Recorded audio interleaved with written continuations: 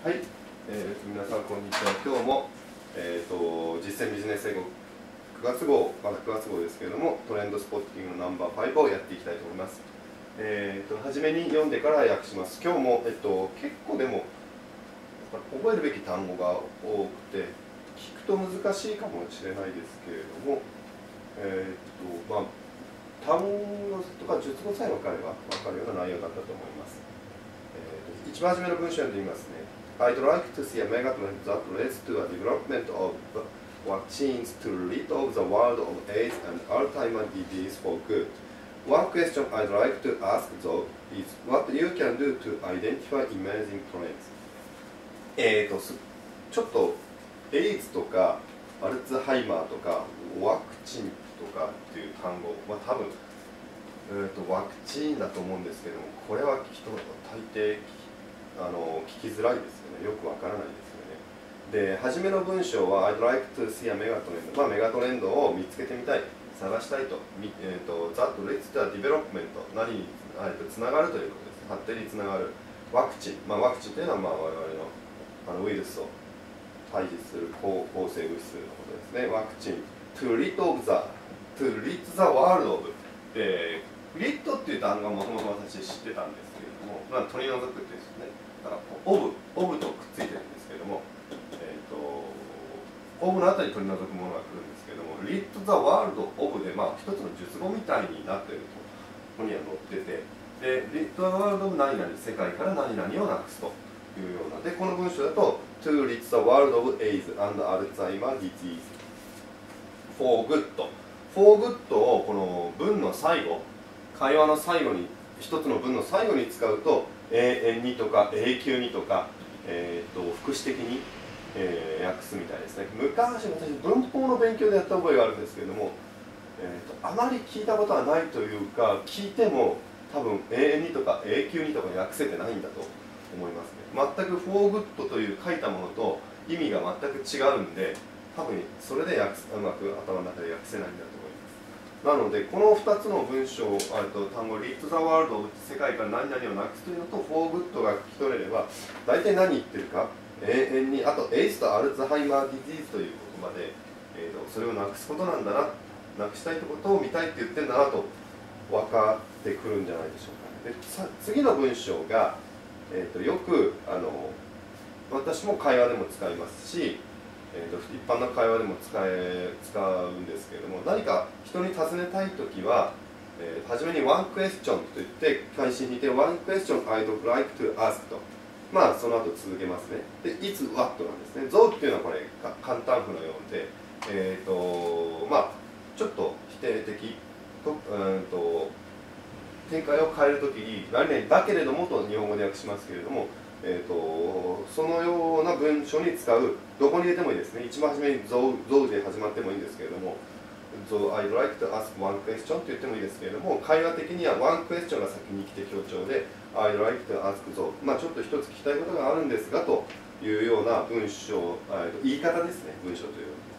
それどういうことかというとその次 B 動詞の is で what と始まってですね。でこれは what は大抵こういう場合 is の後に来たらもう名詞説ですね。what 尋ねたいことは What you can do to identify emerging というどうすれば私たちどうすれば生まれつつ、えーと、あるトレンドあ emerging 出てくるトレンドですね。どうすればこう勢いのあるトレンドを identify することができるかということをちょっと尋ねたいと言ってますね。で次の、えーと、ピアソンさんの文章ですね。Being a good trend spotter means knowing how to source and sift through information while you are surfing the web keep an eye out of uh, keep an eye out for new terms and concepts that seems to have a buzz about them, or simply collect data on areas that interest you. I often find that I make lateral association between seemingly random facts I pick up in the course of my information throwing. すごく長くて一気に読むと大変ですね。えーと、ここまでパーッと頭の中で描ければすごいと思います。難しくはないです。Being a good trend spotter えーと、トレンドを見つける良いトレンドを見つけるスポッターな人見つけるには見つける人になるには means なるということは、えーと、v, v means が V が、えーと、動詞なんで knowing how to source and sift through information これ抜き出しましたね。まあ、ソースで見つけ出すと情報ソースのソースですね。and sift これ SH になって SI でしたね。で日本語のシですね。 sift これでふるいにかけるということですね。 screening と同じですね。 through information まあ情報を通して情報を見つけて、えー、とふるいにかけるつまり訳して情報を仕入れて吟味するというような感じで訳してましたねえーと、どのように情報を仕入れて吟味するかを知ることです、 knowing と言ってますので。While you are surfing the web、まあ、ウェブサーフしてるときに、keep an eye out of new terms。えーと、keep an eye、これもよく使いますね。まあ、目を光らせる、目を置いとく。Keep an eye on で私は覚えますけど、on の場合は大体物や人がいますね。これは、えーと、 out of と言って、アウト、アウトフォーって言ってるんで、えーと新しい言葉やコンセプト。まあ物とか人ではなくて物理的なものじゃなくてそういう情報なのでアウトフォーということですね。新しいニュータームズやコンセプト。That seems to have a buzz about them どのように見えるか。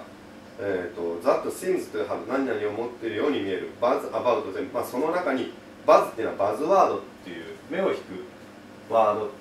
バズワードっていうのはよく今このインターネットで使われるんですけどもバズワード目を引くワードトレンド、えー、と勢いのある言葉のことをバズワードって言いますね。BUZZ です。I picked up in the course of my information とえーと、次の文章ですねでそれに対してウォーカーさん答えたのは、えーと、よく出てくる文章ですね I make a point of getting on mailing list about things that interest me It's so easy to do these days. You just shoot off an email or click a link. I also subscribe to lots of trade publications many of which you can get for free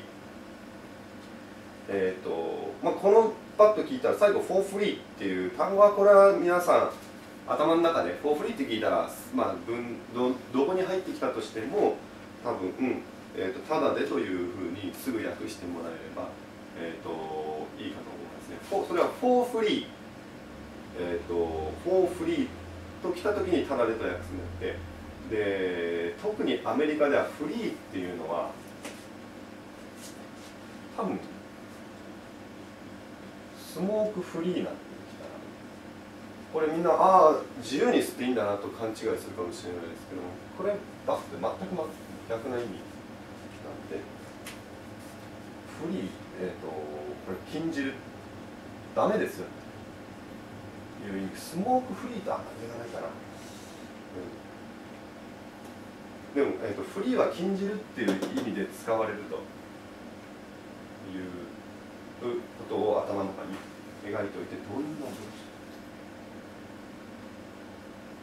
まあ、ちょっとスモークフリーでもいいですね。これで覚えておいてくださいスモークフリーはあのスモークフ自由に吸えるという意味で全く逆なんで。禁じるという意味なんで。す、まあ、このこの場合は全く違ってフォーフリーというのはただでという意味ですね。で、I make a point of getting on mailing, getting on mailing list. えっ、ー、と、まあ、ポイン make a point of で、まあ、何々するようにしていると、何度かこの授業でもやったと思うんですけれども、えっ、ー、と、getting on mailing list, えっ、ー、と、about things interest me. えっ、と、メーリングリストを get on, get on だから、まあ、作るの？えっと、まあ、の、の、えっ、と、するようにしてるんですね。メーリングリストを作るようにしてると訳していいと思いますね。えーと、about things 何々について、えーと、私に興味が that interest me that はこれ接続詞ですね。私に興味があるものについて。私が興味あるものについてメーリングリストを作るようにしている。It's so easy to do these days 今日それをやるのはすごくやりやすいと。You just shoot off an email or click a link